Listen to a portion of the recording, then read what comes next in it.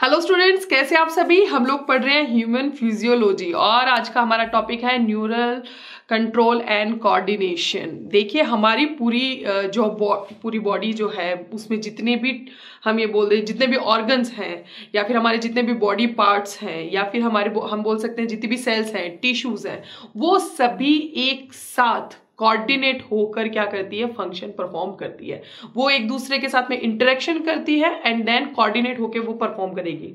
अब आप इस चीज़ को समझेंगे कैसे? देखिए, जैसे कि फॉर द एग्ज़ाम्पल अगर आप समझें कि आप और आपकी सिस्टर है तो होगा क्या कि आप दोनों एक यूनिट की तरह काम करते हैं। जहाँ पे भी जाते हैं, कोई अगर आपकी बहन को कुछ कह दे तो मेरे ख्याल से आप उसको हम ये बोलते हैं कि वो जो भी काम कर रही होगी, मान लीजिए कि वो कहीं जाकर अगर कोई काम कर रही होगी, किसी भी तरह का काम अगर कर रही है तो आप भी क्या करेंगे कि उसकी हेल्प करेंगे ताकि वो काम जो है, दोनों मिलकर जो है, वो इजी वे में हो सके।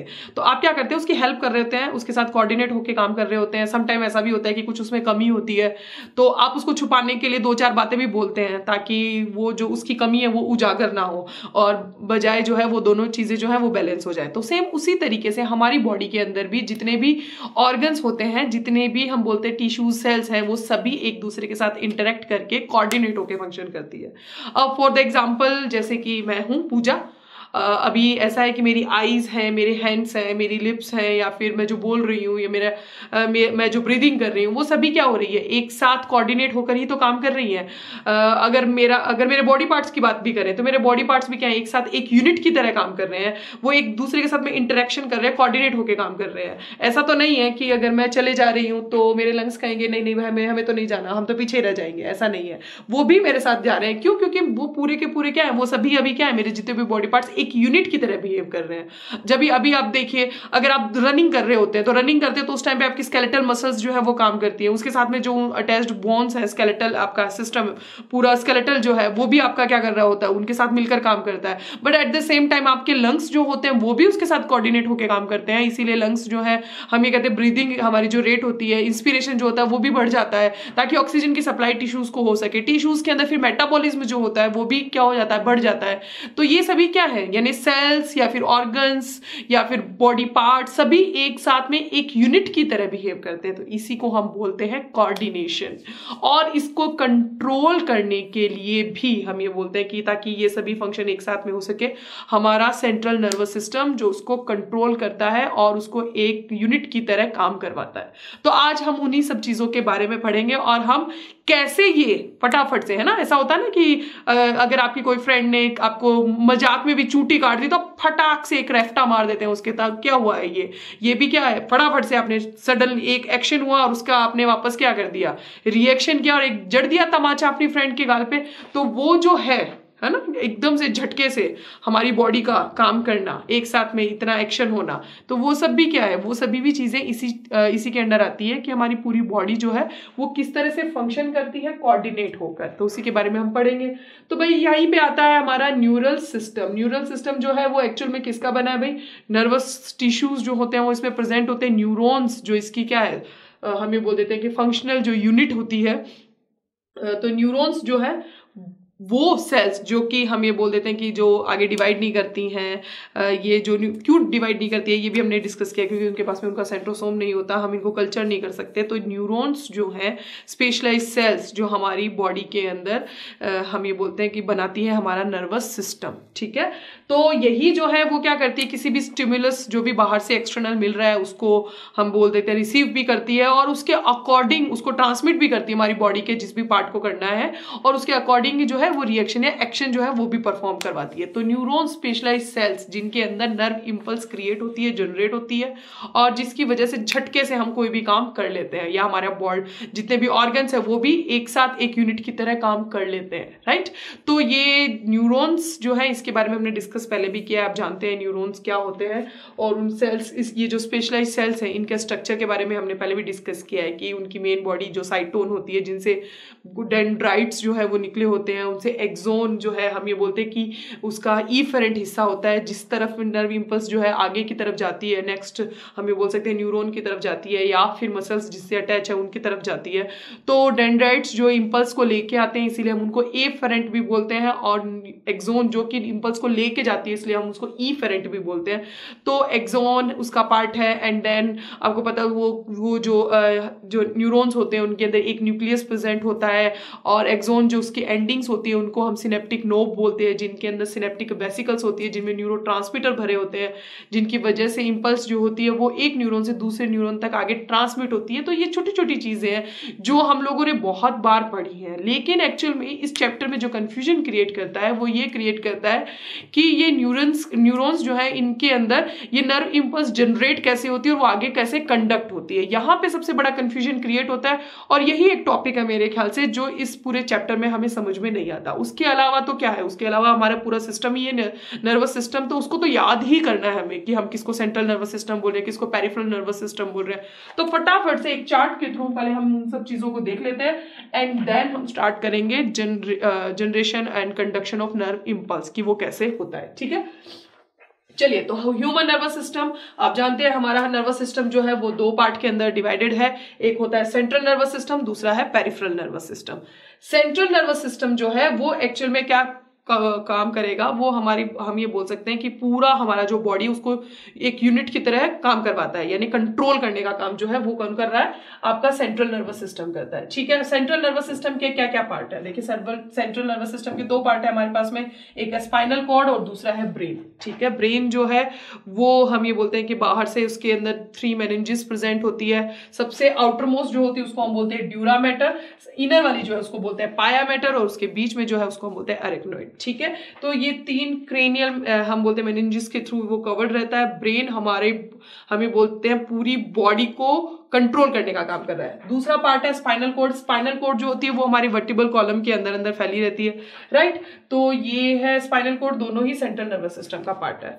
पेरिफेरल नर्वस सिस्टम जो है, वो हम कहते हैं जितने भी अब हमारे पार्ट्स हैं, वहाँ पे जो फैली हुई न्यूरॉन्स है नर्व्स जो फैली है, वो पोर्शन रहता है किसका? पेरिफेरल नर्वस सिस्टम का। यानी कि जो सेंट्रल नर्वस सिस्टम से एसोसिएटेड रहती है बट पूरी बॉडी के अंदर पेरिफ जो पूरा पोर्शन अब बच गया है, यानी कि हमारा brain and then spinal cord उसके अलावा हमारे सारे ऑर्गन्स तक, या फिर हमारे सारे बॉडी पार्ट्स तक मसल्स तक, सब तक फैली है वो जो है, वो है पेरिफल नर्वस सिस्टम अब उसके अंदर भी हम देखो पढ़ते हैं somatic nervous system somatic nervous system किसको बोलते हैं कि वो नर्व्स या फाइबर्स गैंग्लियोन्स जो कि हम सेंट्रल नर्वस सिस्टम से चलती है और हमारे स्केलेटल जो हम बोल रहे हैं कि स्केलेटल मसल्स जो होती है, जिनको हम क्या बोलते हैं जहाँ पर मोटर न्यूरोन्स होती है, जिसकी वजह से हमारी मसल्स जो है कॉन्ट्रेक्शन करती है एंड देन हमारी बॉडी के अंदर मूवमेंट होता है। तो हमारा वो जो बॉडी पार्ट जो है, हमारे लिम्स जो है, वो मूव कर रहे हैं। तो ये जो स्केलेटल मसल्स हैं, वहाँ तक जाती हैं। कौन सी? आपकी सोमेटिक नर्वस सिस्टम, यानी कि एस एन एस जाता है वहाँ पे, ठीक है? तो ये हो गया सबसे पहले आपका सोमेटिक एंड देन ऑटोनोमिक किसको बोलेंगे? ऑटोनोमिक वो है जो सेंट्रल नर्वस सिस्टम से निकलती है नर्व्स लेकिन वो हमारे उस, उन ऑर्गन्स तक जाती है, उन मसल्स तक जाती है जो इनवॉलेंट्री फ़ंक्शन परफॉर्म करती है। यानी कि स्मूथ मसल्स जहाँ पर प्रेजेंट होती है, वहाँ तक जो जा रही होती है, उसको हम बोलते हैं ऑटोनोमस नर्वस सिस्टम ठीक है? उसी के अलावा दो और पार्ट है सिंपेथेटिक एंड पैरासिम्पेथेटिक ठीक है? तो ये आपका एक्चुअल में अगर हम मोटे तौर पे पढ़ें तो आपको पता चल गया कि क्या है आपका central nervous system and peripheral nervous system दो पार्ट के अंदर बटा रहता है हमारा पूरा का पूरा बॉडी का नर्वस सिस्टम ठीक है? हम इसमें जो मेन टॉपिक लेंगे, वो लेंगे आज के लिए न्यूरॉन एंड न्यूरॉन्स में कैसी इंपल्स क्रिएट होती है, ठीक है? तो क्योंकि यही हमें कंफ्यूजन क्रिएट करता है, ये सब तो लर्निंग है तो ये हम समझ जाते हैं। तो इसको हमें थोड़ा सा शॉर्ट में हमने देख लिया, पढ़ते हैं हम आगे इसको।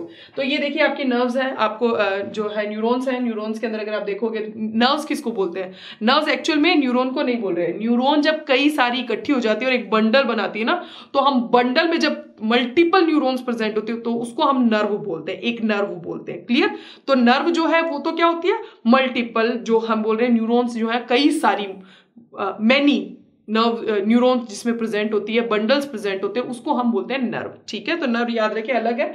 एंड ये है न्यूरोन, उसकी एक यूनिट है ना? तो ये है स्ट्रक्चरल यूनिट या फंक्शनल यूनिट हम बोल सकते हैं। तो देखिए डेंड्राइट्स ई फेरेंट ये ए फेरेंट होते हैं, जो इंपल्स को लेके आते हैं। साइटोन इनकी मेन बॉडी जो है सोमा जिसको बोलते हैं, उससे निकलते हैं। निजेल्स ग्रेन्यूल्स जो है, वो इनके साइटोप्लाज्म में प्रेजेंट हम ये बोलते हैं ग्लैंडुलर बॉडीज होती हैं।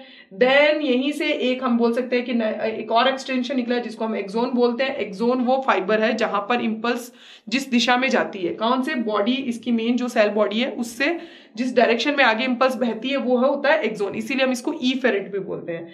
ये माइलिनेटेड एंड नॉन माइलिनेटेड हो सकते हैं। माइलिन शीट से ये कवर्ड हो सकती है और ना भी कवर हो। इनके बीच में जो रह जाता है स्पेस उसको हम बोलते हैं नोड ऑफ़ रेनबियर क्लियर वहाँ पर कुछ सेल्स प्रेजेंट है जिनको हम बोलते हैं स्वान सेल्स ठीक है? जिसका काम क्या होता है? ये जो माइलिन शीत होती है, उसको बनाने का। तो ये उसको फॉर्म करती है।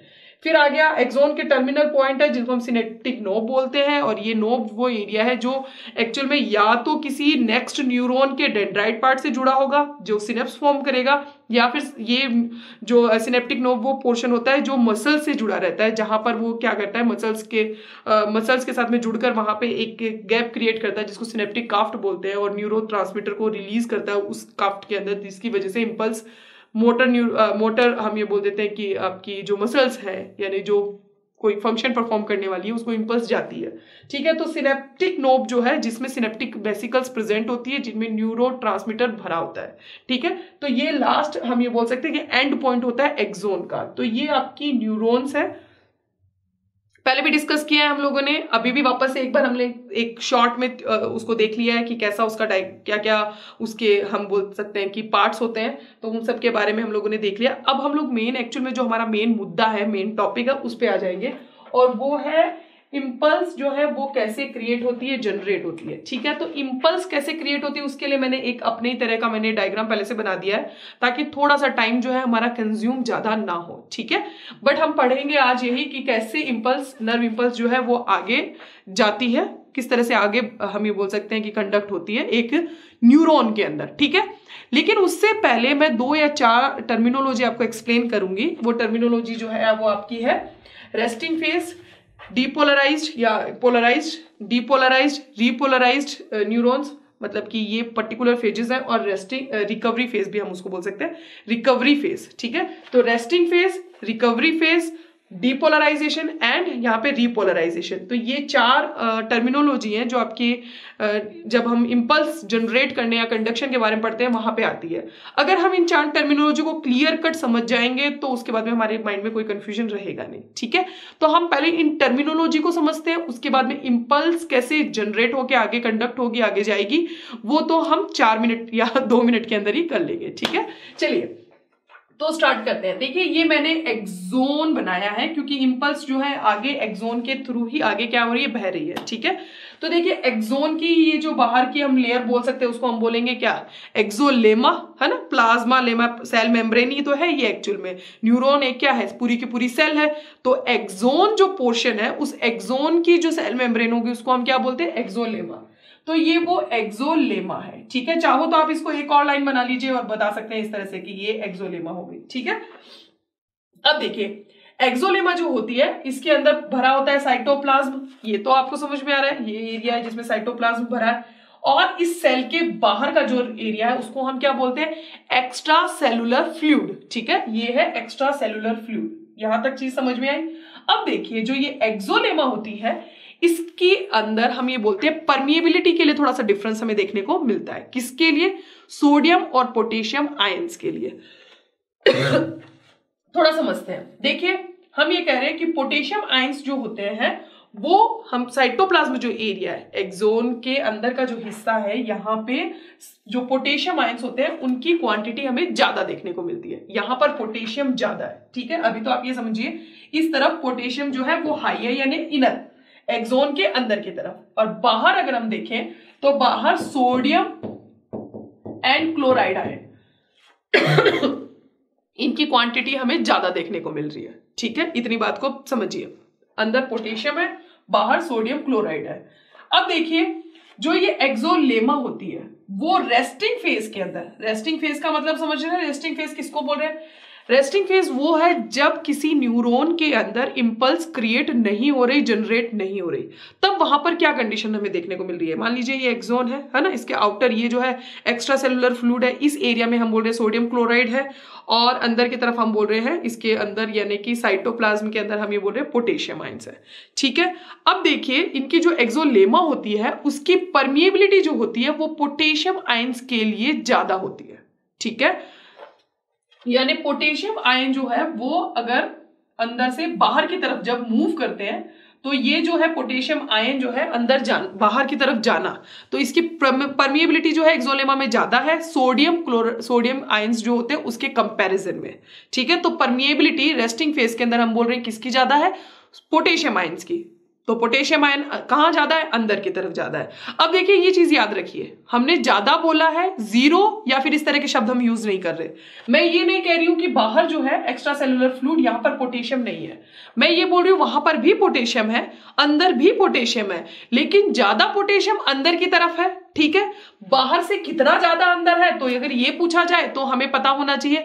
तो अंदर जो है, वो बाहर के कंपैरिजन में तीस गुना ज़्यादा होता है। अब कंपैरिजन शब्द यूज़ किया तो समझ जाइए। अगर मैंने बोला कि बाहर अगर एक पोटेशियम आयन है तो अंदर कितने होंगे? उसके तीस गुना, यानी कि तीस पोटेशियम है कितने? अंदर की तरफ़। यानी कि अंदर तो कंसेंट्रेशन पोटेशियम आयन की ज़्यादा है, बाहर की तरफ़ कम है।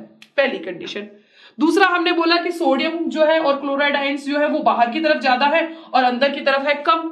अगेन कितना कम और कितना ज़्यादा? तो बाहर की तरफ़ ये हम ये बोल रहे हैं कि अंदर के कंपैरिजन में जो ईएसएफ e एरिया है, वहाँ पर 10 से 15 गुना ज़्यादा है। यानी कि अगर सोडियम यहाँ पर एक है तो यहाँ सोडियम कितने होंगे? ईएसएफ e के अंदर 10 ठीक है? तो कंपैरिजन याद रखिए। तो यहाँ पोटेशियम जो है, वो है 30 गुना ज़्यादा। चलिए, कलर यूज़ कर लेते हैं। यहाँ पे हम बोल रहे तीस गुना ज़्यादा, ठीक है? और सोडियम बाहर जो है, वो है दस से पंद्रह गुना ज़्यादा, बाहर ये ज़्यादा है। रेस्टिंग फ़ेज़ के अंदर हम बोल रहे हैं पोटेशियम आयंस जो होते हैं, उसकी परमिएबिलिटी ज़्यादा होती है, ठीक है? परमिएबिलिटी ज़्यादा होने की वजह से क्या होगा? पोटेशियम आयन जो है, वो बाहर की तरफ़ मूव करेंगे, ठीक है? अभी देखिए, पोटेशियम के साथ में कुछ प्रोटीन्स होती हैं। प्रोटीन्स जो नेगेटिवली चार्ज प्रोटीन्स हैं। वो दोनों पोटेशियम आयंस और नेगेटिवली चार्ज प्रोटीन क्योंकि न्यूट्रलाइज कंडीशन होनी ज़रूरी है। पॉजिटिव चार्ज जो है, उसके साथ में कुछ ऐसा होना चाहिए। नेगेटिव आयन होना चाहिए, जिससे वो न्यूट्रलाइज हो सके। तो अंदर पोटेशियम ज़्यादा है पॉजिटिव आयन्स हैं तो उनके न्यूट्रलाइज के लिए वहाँ पे प्रोटीन होती है जो नेगेटिवली चार्ज होती है। अब जब दो कोई पॉजिटिव या नेगेटिवली चार्ज होंगे तो आप जानते हैं उनके साथ साथ रहने की, हम ये बोलते हैं कि पॉसिबिलिटीज भी ज़्यादा होती है प्रोबेबिलिटी भी ज़्यादा होती है। जैसे कि कोई भी हस्बैंड वाइफ है तो उनमें भी ऐसा ही होता है ना कि एक नेगेटिव होता है, एक पॉजिटिव होता है बट फिर भी दोनों साथ साथ रहते हैं बिकॉज़ अपोजिट अट्रैक्ट है ना? ये कंडीशन रहती है। तो सेम कंडीशन है ये पोटेशियम आयंस के साथ में भी। तो पोटेशियम एंड प्रोटेशियम के साथ में नेगेटिवली चार्ज प्रोटीन जो होती है, वो अंदर की तरफ़ साथ साथ रहने की हम ये बोलते हैं कि ज़्यादा कोशिश करते हैं। वो दोनों साथ साथ में ही रहते हैं, ठीक है? बाहर सेम कंडीशन है सोडियम एंड क्लोराइड आइन के लिए, वही पॉजिटिव एंड नेगेटिव चार्ज उनके भी साथ साथ रहने की क्या है जो है चांसेस बोल सकते हैं प्रोबेबिलिटी जो होती है, वो ज़्यादा रहती है, या फिर वो चाहते हैं कि हम साथ साथ में रहें। तो ये दोनों अपने साथ साथ में रहते हैं। बट इस कंडीशन में पोटेशियम आयन की परमिबिलिटी ज़्यादा है तो पोटेशियम जो है, वो इस एक्सोलेमा को क्रॉस करके बाहर जाने की कोशिश करता है। और बाहर जाने की कोशिश क्या करेगा? जाएगा भी। अब इस चीज़ को समझना हो तो आप समझिए, जैसे कि क्लासरूम है, एक क्लास के अंदर बॉयज़ भी बैठे हैं और गर्ल्स भी बैठी हैं, ठीक है? अब होता क्या है कि कोई टीचर है मेरे जैसा है तो उसको क्या है, लड़कियों से तो थोड़ा सा अपना वो अट्रैक्शन ज़्यादा रहता है, लड़के जो होते हैं, वो उनकी हम बोलते हैं नज़रों में, औरतों की वैसे भी नज़रों के अंदर क्या होते हैं, लड़के जो होते हैं ना, वो चढ़े ही रहते हैं। तो वो कोशिश करते हैं कि उसको नीचा जितना नीचा दिखा सके या उसको जितना परेशान कर सके तो करे, है ना? तो वो क्या करती है कि वो क्लास से बाथरूम जाने के लिए, पानी पीने के लिए, वो गर्ल्स को तो अलाउ करती है बॉयज़ को अलाउ नहीं करती गर्ल्स को तो बोलती जाओ। यानी कि वो जो रूम है और उसकी जो वो दीवारें हैं, वो परमिएबल हो गई। किसके लिए परमिएबल हो गई? लड़कियों के लिए। बट लड़कों के लिए परमिएबल नहीं है। यानी लड़कियाँ और लड़के, दोनों के साथ साथ दोनों को जाना, इच्छा दोनों को ही हो रही है पानी पीने जाने की। लेकिन देखो ना, मैंने अलाउ किसको कर रखा है? मैंने परमिबिलिटी जो है वो दे रखी है लड़कियों को। तो लड़कियाँ तो क्रॉस कर जाती है, लड़का नहीं जा पाता। तो लड़कियाँ तो क्रॉस करके वैसे पोटेशियम आयन पोटेशियम आयन तो क्रॉस कर जाते हैं प्रोटीन जो है वो क्रॉस नहीं कर पाती बट दोनों साथ साथ चल रही हैं। अभी देखिए, यहाँ तक एक्सोलेमा तक जाएँगी, तब तक तो क्या है? दोनों साथ साथ जाएँगी। साथ साथ जाने के बाद में पोटेशियम के लिए परमिएबिलिटी है, वो तो क्रॉस करके चला गया दीवार को, ठीक है? लेकिन प्रोटीन जो है, वो तो अंदर ही है। अब प्रोटीन रह गई पास में, लेकिन देखिए, अब हस्बैंड वाइफ की जोड़ी भी हो सकती है ना? होता क्या है कि कोशिश ये रहती है कि दोनों साथ साथ तो रहते हैं। अब क्रॉस करके चली गई बाई चांस वाइफ तो हस्बैंड क्या बोलेगा? अभी देखना, यहाँ से हीली तो देख लेना, रहना मेरे साथ साथ ही है। दोनों रह गए वहीं पे। अभी देखिए, दीवार है बीच में, मैं मैं मान लीजिए इधर आ गई तो मेरे हस्बैंड रह गए उधर बट दोनों है तो साथ साथ वो मान लीजिए नेगेटिव चार्ज मैं हूँ पॉजिटिव चार्ज तो पॉजिटिव रह गया बाहर और अंदर रह गया नेगेटिव चार्ज ऐसी कंडीशन होती है रेस्टिंग फ़ेज़ के अंदर. देखिए कैसे? पोटेशियम आयन अपनी हाई कंसेंट्रेशन से लो कंसेंट्रेशन की तरफ़ जाने की कोशिश करता है ग्रेडियंट के तौर पे अगर देखें तो ग्रेडियंट के अकॉर्डिंग भी अगर देखें तो पोटेशियम बाहर जा रहा है और परमिएबिलिटी में भी देखें तो पोटेशियम बाहर जा रहा है. तो दोनों चले तो साथ साथ लेकिन पोटेशियम चला गया बाहर प्रोटीन रह गया अंदर बट फिर भी साथ साथ बने हुए, दीवार के उस पार, इस पार. प्यार अभी भी बरकरार है ना? पोटेशियम यहाँ है और यहाँ प्रोटीन है। देखिए चार्ज कौन सा होगा? बाहर पॉजिटिव अंदर की तरफ़ नेगेटिव ऐसा ही होता जा रहा है क्योंकि पोटेशियम जो है वो बाहर जाते जा रहे हैं, लेकिन प्रोटीन जो है वो उसके साथ साथ अंदर बनी हुई है। तो बाहर क्या क्रिएट हो जाएगा? पॉजिटिव चार्ज अंदर की तरफ़ क्या है? नेगेटिव चार्ज देखिए सोडियम जो है उसके लिए परमिएबल नहीं है। तो सोडियम अंदर नहीं आ रहा है। पोटेशियम ही बाहर जा रहा है। पोटेशियम बाहर जाता रहेगा तो क्या हो जाएगा? यहाँ पर एक हम ये बोल देते हैं कि जनरेट हो जाएगा पोटेंशियल अब ये जब ये पोटेंशियल जनरेट होगा पोटेंशियल यहाँ क्रिएट हो जाएगा तो देखिए, ये पोटेंशियल जो है, ये अभी इस चीज़ को ऐसे समझिए कि पोटेंशियल जो है वो जनरेट हो रहा है कि तो हम किसी के रेस्पेक्ट में बात कर सकते हैं। जैसे कि फॉर द एग्जांपल मान लीजिए कि कि मैं मैं ये बोलना चाहूँगी कि तुम्हारे पास में सौ रुपए है, ठीक है? या फिर मैं बोलना चाहूँगी कि और मेरे अगर मैं मेरे एस्पेक्ट में बोलूँ कि अगर हम दोनों का कंपैरिजन करते हुए अगर मैं बोलूँ तो मैं बोलना चाहूँगी कि भाई मेरे मेरे से इस मेरे पास मुझसे सौ रुपए इसके पास में कम है। ठीक है? मेरे पास में इससे सौ रुपए कम है लेकिन मेरे कंपैरिजन में मैंने ये बात बोल दी। या फिर मैं ये बोलूँगी कि मेरे पास सौ रुपए है बट उसके पास में मेरे कंपेरेटिवली कितने होते हैं? मेरे कंपैरिजन में आ, हम ये बोलते हैं कि हमेशा कम ही होते हैं। ये मान लीजिए मेरे कंपैरिजन में हमेशा कम है। तो हमेशा सौ कम होते हैं मेरे कंपैरिजन में मान लीजिए तो अगर मेरे पास में सौ है तो तुम्हारे पास में मेरे से कंपैरिजन में सौ कम है तो तुम्हारे पास में कितने हैं ज़ीरो अगर मैंने बोला मेरे पास में दो सौ रुपए और मैंने बोला मेरे कंपैरिजन में तुम्हारे पास में सौ हमेशा कम होते हैं तो मेरे पास दो सौ है तो तुम्हारे पास में कितने हैं सौ अगर मैंने बोला मेरे पास में हज़ार है पर मेरे कंपैरिजन में आपके पास में सौ कम होते हैं तो आपके पास में कितना रह गया आपके पास में रह गया कितना नौ सौ है ना? हमेशा सौ कम है। लेकिन अगर मैंने बोला, मेरे पास में ज़ीरो है तो तुम्हारे पास में, मेरे कंपैरिजन में कितना हो जाएगा? माइनस सो यानी तुम्हारे पे उधार हो गई। अब अगर मैंने बोला, मेरे पर भी सौ रुपए की उधार है तो तुम्हारे पास में कितनी उधार हुई? तुम्हारे पास रुपए की उधार हो गई दो सौ की, है ना? हर बार जो है, वो बढ़ती जाएगी। अब की बार तुम्हारे पास में आ गई माइनस दो सौ। अभी मैंने बोला, मेरे पास माइनस दो सौ तो तुम्हारे पास में कितना हो गया? माइनस तीन सौ। अगर मेरे रेस्पेक्ट में बात करते हैं तो वही सेम कंडीशन हो रही है। हम रेस्पेक्ट में बात करेंगे। कैसे रेस्पेक्ट में बात करेंगे? इनर एनवायरमेंट के।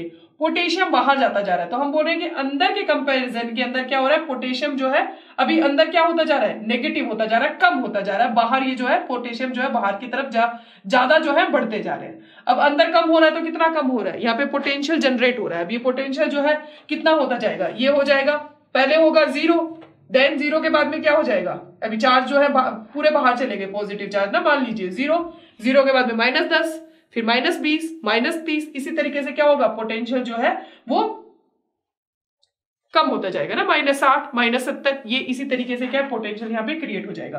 अब देखिए, ये पोटेंशियल जब माइनस सेवेंटी मिली वोल्ट अगर हो जाता है माइनस सेवेंटी मिली वोल्ट ये जो कंडीशन है वैसे तो ये, ये अब हम ये मानते हैं कि minus sixty to minus ninety millivolt होता है ये पोटेंशियल रहता है। तो ये रेस्टिंग पोटेंशियल अगर माइनस सिक्सटी से लेकर माइनस नाइनटी के बीच में हो, हमने मान लिया माइनस सेवेंटी के आसपास हो, अगर ये इतना कम हो जाता है, यहाँ पर इतना कम हो जाता है, तब कंडीशन आ जाती है क्या? कि भाई अभी तक तो तुम्हें कोई रोक नहीं रहा था बाहर जाने के लिए, है ना? कि तुम जाए जा रहे हो, जाए जा रहे हो, जाए जा रहे हो, बाद में क्या हो गया? अभी बोलते कि लड़कियाँ तो सारी बाहर निकलती जा रही है। अब कंपेरिजन में, अंदर के कंपेरिजन में अगर काउंट करो तो लड़कियाँ कितनी हो गई? अंदर तो ज़ीरो उसके बाद में हम ये बोले कि उधर लड़कियाँ बढ़ती जाए तो अंदर के अंदर का क्या हो जाएगा? वो और कम और कम और कम हम ये बोलते हैं, होता जाएगा।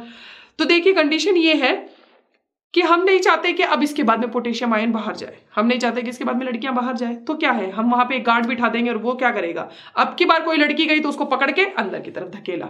फिर कोई लड़की गई अंदर तो उसको पकड़ के अंदर की तरफ़ धकेला। यानी कि वो नहीं चाह रहा कि अंदर जो है वो माइनस और माइनस जाए। ठीक है? तो वो नहीं चाहता कि इससे ज़्यादा माइनस हो नेगेटिव नेगेटिव जो है अंदर हो। तो इसलिए वो क्या करेगा? अब की बार तुम जाओगे तो तुम्हें उठा के वो अंदर की तरफ़ फेंक देगा। यानी हमने एक गार्ड बिठा दिया तो ऐसा ही यहाँ पर भी क्या होता है? एक एंजाइम प्रेजेंट होता है, जिसको हम क्या बोलते हैं?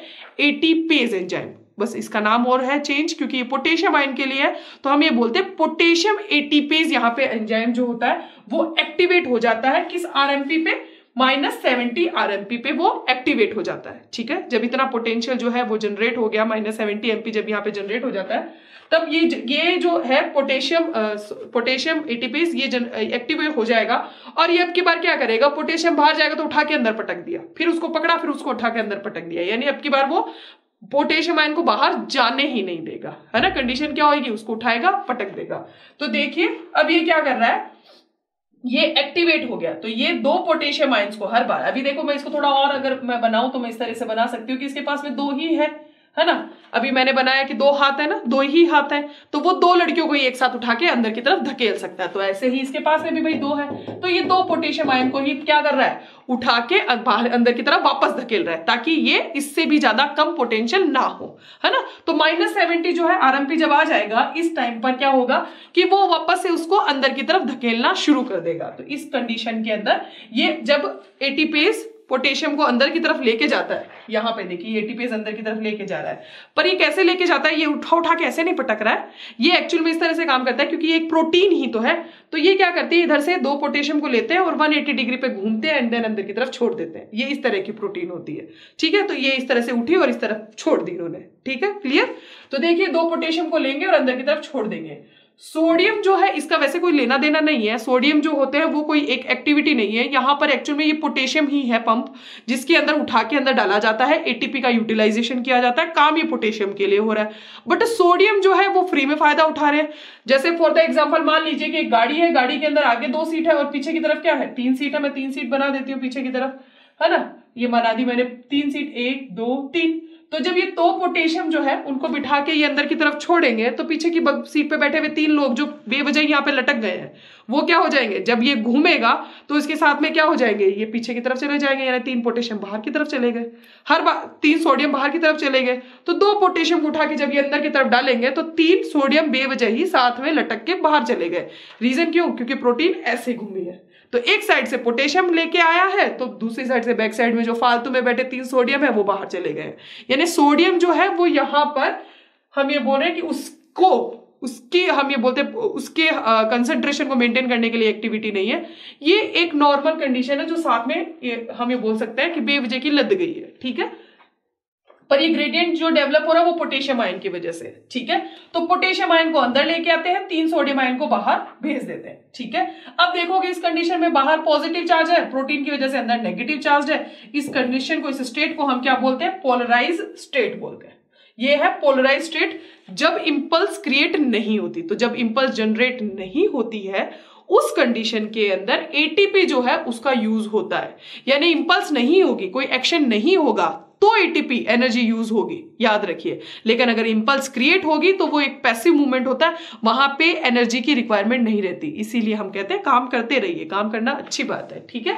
तो नॉर्मल इंपल्स जब क्रिएट नहीं हो रही है, उस टाइम पे हो रहा क्या है? उस टाइम पे ये एटीपीएस जो है, वो दो पोटेशियम को अंदर की तरफ़ और तीन सोडियम आयंस को बाहर की तरफ़ जो है, वो छोड़ देता है। लेकिन अगर आप पोलैरिटी देखोगे तो बाहर पॉजिटिव और अंदर की तरफ़ नेगेटिव चार्ज जो है, वो डेवलप है। तो इस स्टेट को हम बोलते हैं पोलराइज्ड स्टेट देखिए। पॉजिटिव नेगेटिव ठीक है ना? ये कंडीशन जो है डेवलप हो रही है इसको हम बोल रहे हैं पोलराइज स्टेट तो ये हो गया, जब इंपल्स क्रिएट नहीं है, उस टाइम पर ये कंडीशन होती है। ठीक है? जैसे माइनस सेवेंटी आर जो है, मिली वोल्ट ये आर जब हो जाएगा, इतना पोटेंशियल जब जनरेट हो जाएगा, तब क्या हो जाएगा? ये एनर्जी ये एटीपी यहाँ पर क्या हो जाती है? चार्ज अप हो जाती है और वापस से उसको कंट्रोल करने का काम करती है। ये है रेस्टिंग स्टेज में। अब देखिए आगे बढ़ते हैं। अब आगे कंडीशन क्या है? कि कोई स्टिमुलस दिया, है ना? अभी तक तो कोई इंपल्स जनरेट नहीं होती। बाहर से कोई भी स्टिमुलस मिल गया, वो बाहर से कोई भी, किसी भी तरह का स्टिमुलस हो सकता है, चाहे वो मारने के लिए हो या जिस भी चीज़ के लिए हो कि आपके नर्व्स को बाहर से कोई स्टिमुलस मिला। अब ये स्टिमुलस जिस पॉइंट पर मिलेगा, उस पॉइंट पर क्या हो जाएगा? अभी जैसे स्टिमुलस मिलता है, उस कंडीशन में एक्सोलेमा जो है, उसकी परमिएबिलिटी सोडियम आयंस के लिए बढ़ जाती है, ठीक है? तो ये सोडियम आयंस जो है, अब क्या करते हैं? अंदर की तरफ़ आना मूव कर, अंदर की तरफ़ आना शुरू करते हैं। जस्ट इसका अपोजिट अभी पोटेशियम के बारे में बात कर रहे थे, इसको सोडियम पोटेशियम पंप बोलते हैं। हम कई बार पढ़ते हैं सोडियम पोटेशियम पंप आखिर क्या है? ये है सोडियम पोटेशियम पंप तो इतना तो समझ गए आप, कितनी चीज़ होती है, ठीक है? ये सब नॉर्मल स्टेट के अंदर सेल मेम्ब्रेन या जो भी प्लाज्मा मेम्ब्रेन होती है, वो अपने दोनों, अपनी तरफ़ कंसंट्रेशन ग्रेडियंट को मेंटेन करने के लिए ये इस तरह की एक्टिविटी करते हैं, ठीक है? अभी देखो आगे क्या हो रहा है। स्टिमुलस मिला।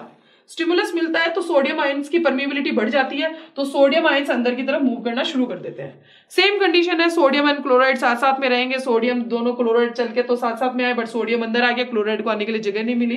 तो अब चार्ज कौन सा क्रिएट हो रहा है? नेगेटिव चार्ज बाहर की तरफ़ पॉजिटिव चार्ज अंदर की तरफ़। ये देखिए पॉजिटिव चार्ज अंदर की तरफ़ क्रिएट हो रहा है। ठीक है? तो जो देखो माइनस ये था माइनस अब ये धीरे धीरे क्या हो रहा है? क्योंकि पॉजिटिव अंदर वापस बढ़ने लगा ना अभी तो क्या हो गया था? पॉजिटिव सारा बाहर चला गया। नेगेटिव था तो नेगेटिविटी क्रिएट होती जा रही है। और नेगेटिव और नेगेटिव और नेगेटिव होता जा रहा है अंदर की तरफ़।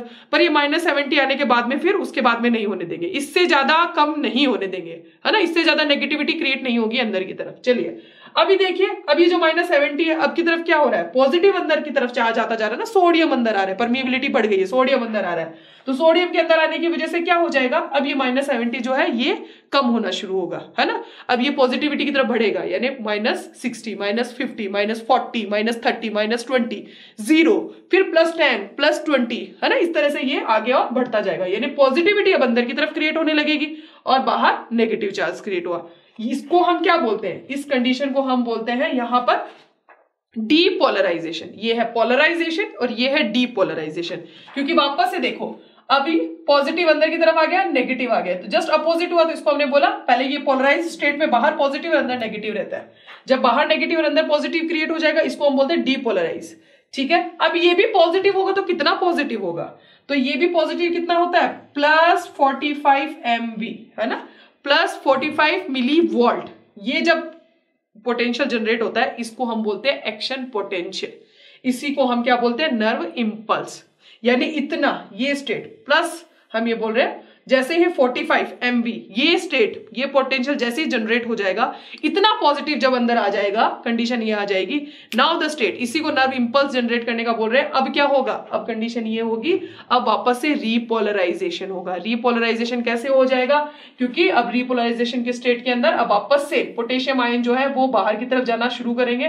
पोटेशियम जब बाहर की तरफ़ जाना शुरू करेगा, बहुत ज़्यादा बाहर की तरफ़ जाना शुरू करेगा तो बाहर क्या हो जाएँगे? पॉजिटिव चार्ज एंड प्रोटीन की वजह से क्या हो जाएगा? अंदर की तरफ़ नेगेटिव चार्ज प्लस पैंतालीस जो था वापस से क्या होना शुरू किया? वापस डाउन होना शुरू किया प्लस टेन देन ज़ीरो फिर माइनस टेन और सो ऑन वापस से ये कंडीशन डेवलप हो जाएगी। इसको हम क्या बोलते हैं?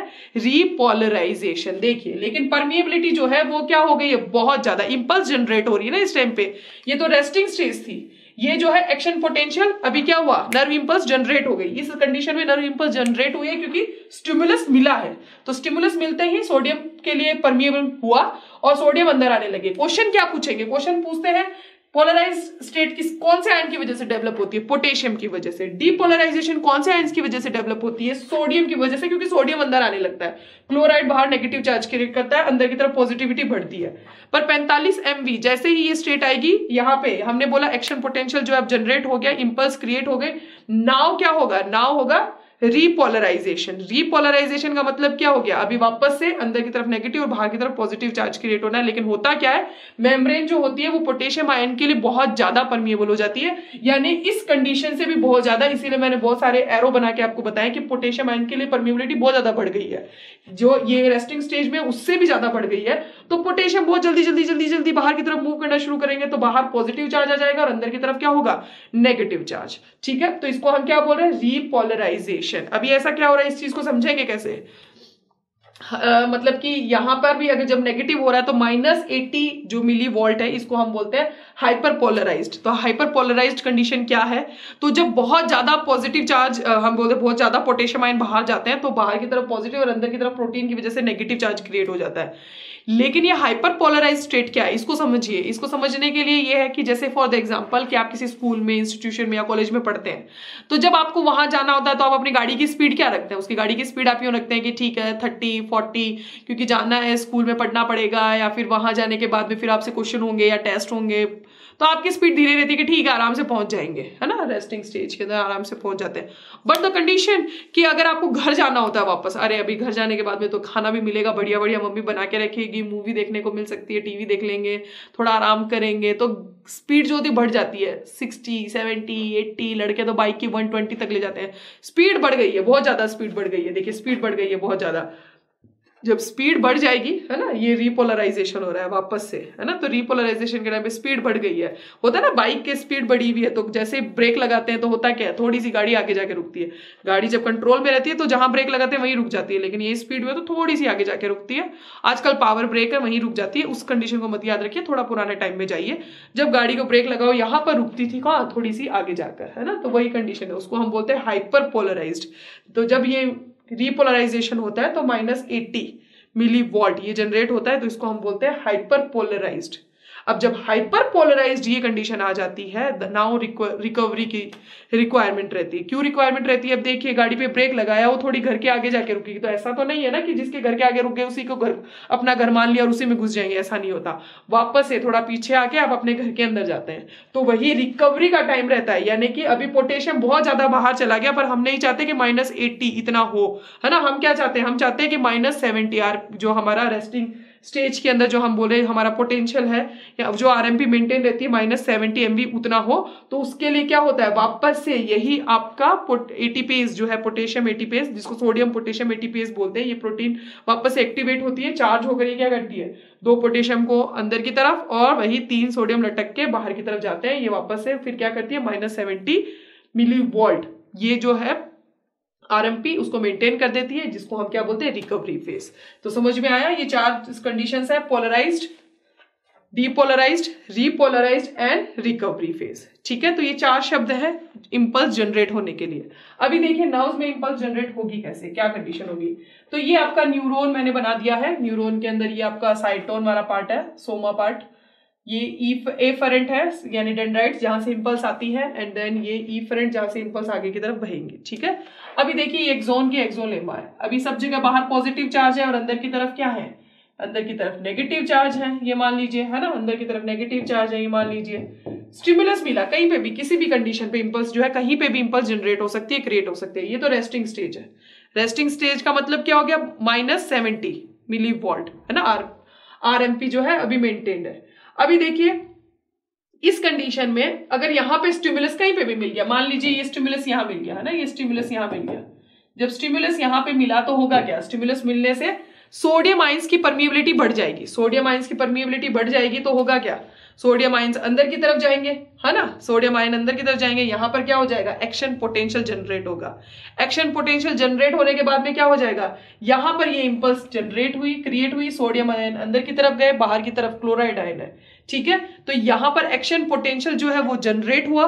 देन क्या हो जाएगा? देन वही होगा। बहुत ज़्यादा action potential generate impulse create होने के बाद में फिर हाइपर पोलराइज स्टेट आएगी। देन हाइपर पोलराइज स्टेट के बाद में क्या हो जाएगी? रिकवरी हो जाएगी। वापस से ये तो क्या हो जाएँगे? सेम स्टेट में आ जाएँगे माइनस सेवेंटी लेकिन जहाँ पर स्टिमुलस मिलता है, यही अगले वाले, है ना? अगला जो पॉजिटिव चार्ज है, यहाँ पर इसके लिए ये एक, हम ये बोलते हैं स्टिमुलस का काम करता है। तो जब यहाँ पर एक्शन पोटेंशियल जनरेट होगा नाउ ये एक्शन पोटेंशियल जनरेट होने के बाद में ये खुद तो क्या आ जाएँगे? वापस से हाइपर पोलराइज स्टेट में एंड देन रिकवरी फ़ेज़ में आएँगे माइनस सेवेंटी आरएमपी वापस यहाँ पे मेंटेन हो जाएगा। बट वो एक्शन पोटेंशियल जो है, उसको आगे की तरफ़ वो उसको धकेल देंगे। ना इसके लिए ये स्टिमुलस का काम करेगा। यहाँ पे फिर सोडियम आयन की परमिबिलिटी बढ़ गई। सोडियम की तरफ़ क्लोराइड आयन की, बाहर की तरफ़ की वजह से नेगेटिविटी हो जाएगी। देन वही हाइपरपोलराइज स्टेट आएगी, यानी रिपोलराइजेशन एंड देन रिकवरी होगी। बट ये खुद इसके लिए एक्शन पोटेंशियल का काम करेंगे तो नाउ इंपल्स यहाँ भेजी जाएगी, फिर ये आगे जाएगी। इस तरीके से इंपल्स आगे की तरफ़ बहती है। ठीक है? छोटे से आसान शब्दों में समझाते हैं कि मान लीजिए कि क्लास के अंदर कोई लड़के लड़का लड़का या लड़की बैठे हैं। तो ठीक है, मैं हूँ, पढ़ा रही हूँ पढ़ाते पढ़ाते मैंने उस लड़के को जड़ दिया एक। लड़के को मैंने थप्पड़ जड़ा और बताया भी नहीं, मैंने तुम्हें क्यों मारा? तो मैंने तो उसके लिए स्टिमुलस का काम किया, उसको समझ में नहीं आ रहा मैंने उसको क्यों मारा? मैं तो फिर क्या किया? मैंने तो उसको स्टिमुलस दिया, थप्पड़ जड़ा और लग गई वापस से पढ़ाने के लिए बट उसके दिमाग में क्वेश्चन कि मेरे को आखिर मारा क्यों? मैंने गलती क्या की जो तुम, उसने मुझे मारा? अब अपने कलेजे को उसको इंसल्ट फील हो रही है, उसको लग रहा है सबके सामने बेजती हो गई, मुझे इतना गंदा फील करा दिया मैडम ने, अभी मैं कुछ करूँ तो मैं रिलैक्स हूँ। तो वो क्या करेगा? वो पीछे मुड़ेगा, मुड़ के अपने पीछे वाले को एक थप्पड़ जड़ा और खुद आराम से हो गया, चलो कोई नहीं। मेरी बेजती तो हुई हुई, अब उसकी भी बेजती होगी अभी कोई टेंशन नहीं। खुद वापस से वही, क्या हुआ? खुद को स्टिमुलस मिला? स्टिमुलस मिलते ही क्या किया? एक्शन पोटेंशियल जनरेट हुआ, उठा के पीछे वाले को थप्पड़ जड़ा। खुद ने स्टिमुलस का काम किया अगले के लिए, और खुद क्या हो गया? वापस वही हाइपरपोलराइज स्टेट में आकर रिकवरी फ़ेज़ के अंदर आकर, वापस से वही मेंटेन हो गया माइनस सेवेंटी उसका वापस से आर एम पी मेंटेन हो गया। नाउ वो इम्पल्स चली गई अगले। अगली पोजीशन पे। अभी उसको भी सेम इंसल्ट फील हो रही है, वो क्या कर रहा है? वो वापस पीछे मुड़ के फिर किसी एक को जड़ रहा है कि चल, मेरी इंसल्ट नहीं हुई, इसकी भी हुई, उसको दिया, और खुद ने क्या हो गया? वापस वही hyper Pola straight I and then वो वापस से रिकवरी फ़ेज़ में चला गया। इस तरीके से फिर वो आगे से आगे आगे से आगे आगे से आगे क्या हो जाएगी? इम्पल्स जो है भेजती भेजी जाएगी। तो सेम कंडीशन हो रही है, इसी तरीके से आगे से आगे से आगे ये इम्पल्स जो है वो भेजी जाती है। तो नर्व इम्पल्स जो होती है, वो इस तरीके से आगे बहती है एक्जोन के अंदर। तो ये आसान शब्दों में आपको बताने की कोशिश की है। एनसीआरटी के अंदर जो डायग्राम दिया, उसको भी थोड़ा समझ लेते हैं। एनसीआरटी ने आपको इंपल्स के जनरेट होने के लिए और कंडक्शन के लिए डायग्राम दिया जिसमें ये क्या है आपकी एक्सोन वही लेमा है, उसकी मेम्ब्रेन है। आपको मालूम है क्या है? बाहर की तरफ़ पॉजिटिव चार्ज है, क्योंकि नॉर्मल रेस्टिंग स्टेज में होता है, क्या है? पोटेशियम बाहर की तरफ़ जा रहे हैं, है ना? और अंदर की तरफ़ क्या है? नेगेटिव प्रोटीन है, इसकी वजह से positive and negative charge develop है। रेस्टिंग स्टेज में, जैसे ही किसी पॉइंट पे क्या हुआ? स्टिमुलस मिला स्टिमुलस मिलते सोडियम आइंस की जो है परमिबिलिटी बढ़ी। अंदर की तरफ़ क्या आ जाएँगे? पोटेशियम सॉरी पॉजिटिव चार्ज और बाहर की तरफ़ क्या आ जाएगा? नेगेटिव चार्ज आ जाएगा। ठीक है ना? तो ये पॉजिटिव आ गया और ये नेगेटिव आ गया। अभी आप जानते हैं, अगर कोई सर्किट बनता है तो होता क्या है? यही होता है ना कि पॉजिटिव एंड नेगेटिव जो है, वो क्या कोशिश करते हैं? साथ साथ रहने की। बाहर भी सेम कंडीशन आ रही है पॉजिटिव एंड नेगेटिव साथ रहने की। तो ये जो पॉजिटिव है, यानी कि ये जो है, वो तो यहाँ शिफ्ट हो जाएगा और ये पॉजिटिव जो है, वो नेगेटिव यहाँ शिफ्ट हो गया। ना यहाँ पे क्या आ जाएगा? पॉजिटिव और यहाँ क्या आ गया? नेगेटिव ये देखिए positive and negative then same condition आगे इम्पल्स बहती जा रही है। अब यहाँ नेगेटिव है और यहाँ पॉजिटिव है। तो अब सेम कंडीशन होगी। ये पॉजिटिव जो है, ये यहाँ चला जाएगा और ये पॉजिटिव जो है, ये यहाँ पे आ गया। ठीक है? यानी कि ये इस तरीके से इम्पल्स जो है बढ़ती रहेगी। इम्पल्स क्रिएट तो केवल यहीं पे हुई। सोडियम आयंस तो केवल यहीं से परमिएबल हुए और यहाँ अंदर एंटर किए। ठीक है, फिर ये कहाँ चले गए? आगे की तरफ़, है ना? आगे तरफ़ चले गए। नेगेटिव जो चार्ज है प्रोटीन वो पीछे की तरफ़ आ गई। यहाँ पे ये पोटेशियम जो है, वो पीछे की तरफ़ आ गए। नाउ क्लोराइड आइंस जो है, वो यहाँ पर आ गए, क्योंकि इनके पास में यहाँ नेगेटिव चार्ज क्लोराइड आइंस है और यहाँ पे इनके पास में नेगेटिव प्रोटीन है। तो नेगेटिव प्रोटीन यहाँ आ गई सोडियम आइंस आपके यहाँ मूव कर गए। नाउ ये जो बाहर की तरफ़ क्लोराइड आइंस है वो पोटेशियम आइंस है, वो इधर आ गए एंड यहाँ पर क्या आ गए? क्लोराइड आइंस आ गए। फिर इस तरीके से क्या होगा? ये इम्पल्स जो है, आगे की तरफ़ बहती जाएगी। तो ये एक सर्किट क्रिएट होता रहता है हर पॉइंट के ऊपर, जिसकी वजह से इम्पल्स आगे की तरफ़ बढ़ती रहती है। तो वही है कि जो कंडीशन है, आपको देखना, और इंपल्स किस डायरेक्शन में जा रही है तो वो हमेशा अंदर की तरफ़ ही देखेंगे। पॉजिटिव जिधर मूव कर रहा है अंदर की तरफ़, उसी डायरेक्शन के अंदर क्या होती है? आपकी इंपल्स जाती है। अगर बाहर की तरफ़ देखेंगे तो पॉजिटिव चार्ज जो है वो तो इस डायरेक्शन में जा रहे हैं। तो इंपल्स इस डायरेक्शन में नहीं है। इंपल्स इस डायरेक्शन में होती है, अंदर की तरफ़ आप देखेंगे। क्योंकि सोडियम अंदर की तरफ़ आया देन सोडियम क्या करेगा? नेगेटिव की जगह नेगेटिव पीछे वापस की अपनी पीछे की पोजीशन में पहुँच जाएगा, है ना? तो ये इस तरीके से कंडीशन जो है ना, आगे इंपल्स जो होती है, वो बहती रहती है। ठीक है? तो ये आपका डायग्राम जो है एनसीआरटी ने दिया हुआ है नर्व इम्पल्स के लिए तो उसमें कुछ ऐसा एक्सप्लेन है, उसको ध्यान रखिए इम्पल्स किस डायरेक्शन में जा रही है। बट होता क्या है, वो आपको समझ में आ गया होगा कि होता ही है कि सोडियम आइंस आते हैं देन जैसे ही बढ़ जाती है देन प्रोटीन क्या करती है? उठा के उसको धकेलती रहती है, बाहर की तरफ़ किसको? पोटेशियम्स को, और अंदर की तरफ़ सोडियम को। किसको मेंटेन करने के लिए? उस ग्रेडियंट को मेंटेन करने के लिए, ताकि R M P minus seventy रह जाए। ठीक है? तो ये हो गया। अभी चलिए आगे बढ़ते हैं। सिनेप्स तो अब ये जो इंपल्स क्रिएट हो रही है, फिर वो आगे नेक्स्ट न्यूरॉन को या फिर मसल्स तक जाती है। अब यहाँ पर इम्पल्स जो है आगे भेजने के काम के लिए यहाँ पर हम ये बोल सकते हैं दो तरह की कंडीशन हो सकती है, या तो केमिकल ही या फिर इलेक्ट्रिकल केमिकल का मतलब तो ये हो गया कि यहाँ पर न्यूरो होते हैं केमिकल जो कि सिनेप्टिकल वेसिकल्स के अंदर भरे रहते हैं। और ये देखिए सिनेप्टिक वो स्पेस है जहाँ पे सिनेप्स मेंटेन हो रहा है। तो अगर ये, या तो ये एक मसल भी हो सकती है, या फिर हम ये बोल सकते हैं कि ये नेक्स्ट न्यूरॉन का डेंड्राइड पार्ट भी हो सकता है, क्योंकि होता तो यही है ना कि ये साइटोन है, ये डेंड्राइड है इम्पल्स यहाँ से जनरेट हुई एक्सोन में गई, और यहाँ पे इसके क्या है, ये सिनेप्टिक नोब है, ठीक है? और सिनेप्टिक नोब के पास में हम ये बोल रहे हैं कि फिर एक नेक्स्ट और न्यूरोन जो है, उसको ये इम्पल्स जा रही है। तो ये इम्पल्स जाएगी तो यहाँ पर ये सिनेप्स किसके बीच में बनेगा? ये नेक्स्ट न्यूरोन के डेंड्राइड पार्ट के बीच में, और जो प्री न्यूरोन है प्री सिनेप्टिक न्यूरोन है, उसके हम ये बोलते हैं सिनेप्टिक नोब के बीच में ये बनता है। फिर देन ये इम्पल्स आगे की तरफ़ जा रही है, इस तरह से ये आगे की तरफ़ इम्पल्स जाती है, ठीक है? तो सिनेप्स किसके बीच में फॉर्म होता है वो ध्यान रखिए। प्री सिनेप्टिक न्यूरोन के सिनेप्टिक नोब और जो पोस्ट सिनेप्टिक जो न्यूरोन है, उसका जो डेंड्राइड होता है, उसके बीच में सिनेप्स फॉर्म होता है। अब यहाँ पर ये बीच में जो दरार दी है, वो होगी कि नहीं होगी? दैट इज़ डिपेंडेंट कि केमिकली ट्रांसमिटेशन हो रहा है नर्व्स का, इसका नर्व इंपल्स का, या फिर इलेक्ट्रिकल इलेक्ट्रिक होगा तो ये दरार जो है वो नहीं होती है. लेकिन अगर केमिकली हो रहा है तो ये गैप ज़रूर होता है. रीजन ये क्योंकि यहाँ पर सिनेप्टिक वेसिकल्स अपने न्यूरो को रिलीज़ करती है.